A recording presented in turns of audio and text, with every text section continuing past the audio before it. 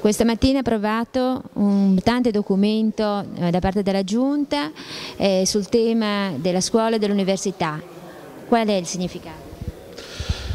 Il significato è che noi non ci rassegniamo a considerare chiusa la partita della scuola e dell'università, soprattutto della scuola, col voto del Senato perché vedete eh, eh, il governo ha deciso anche su alcune cose su cui non poteva decidere, non poteva decidere perché il titolo quinto della Costituzione dice che sono le scuole a dover organizzare il loro lavoro nel modo più appropriato, dice che le regioni, i comuni, le province hanno ruoli importanti nell'assegnare gli organici alle scuole, nella gestione e nella gestione di tutti gli aspetti organizzativi della scuola sul territorio e tutti questi, stati, questi, aspetti nel decreto non sono stati assolutamente considerati. Il decreto impone una sua norma, una, un suo modello a tutte le scuole italiane, indipendentemente dal contesto territoriale, dai problemi sociali,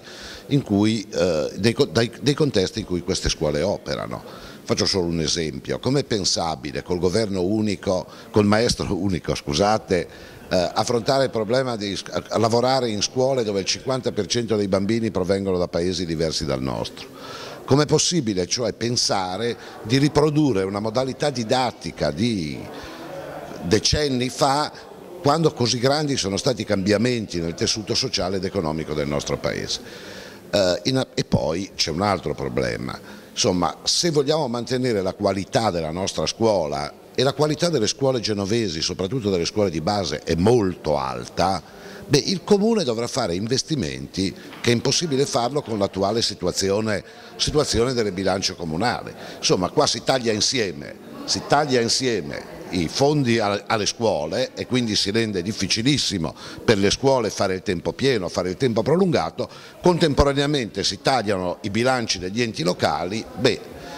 c'è un impasse di cui rischieranno di soffrire profondamente non solo le maestre, ma soprattutto i bambini, i ragazzi dei territori, soprattutto dei territori socialmente, eh, in cui sarebbe socialmente più necessario un intervento, un intervento serio. Questo documento che sottolinea queste cose noi lo consegneremo a Lanci e a Luppi e a, lo proporremo alla conferenza Stato-Regioni. Cioè noi vogliamo che si riapra a quel livello un ragionamento a partire dalla legge sull'autonomia, sull'autonomia scolastica che nessuno ha abrogato e a partire dal titolo, dalla, dalla Costituzione che viva Dio non è allo Stato abrogabile. Su quella base chiediamo che si riapra un confronto che si riapra senza pregiudiziali ideologiche, si, si,